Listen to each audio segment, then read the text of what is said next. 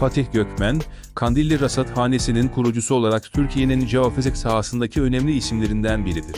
Bilim dünyasındaki çığır açıcı çalışmalarıyla dikkat çeken Gökmen, deprem tahminleme ve jeofizik araştırmalarda öncü bir rol oynamıştır. Kurduğu rasathane, sadece Türkiye'nin değil, dünya çapındaki jeofizik araştırmalara da katkıda bulunmuştur.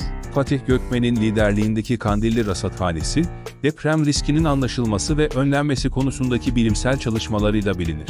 Gökmen, jeofizik alanındaki yenilikçi yaklaşımıyla, deprem tahminleme konusunda önemli adımlar atmış ve bu alandaki uluslararası işbirliğini güçlendirmiştir. Ayrıca Gökmen'in vizyoner liderliği altında Kandilli Rasathanesi, genç bilim insanlarına ve araştırmacılara ilham veren bir merkez haline gelmiştir.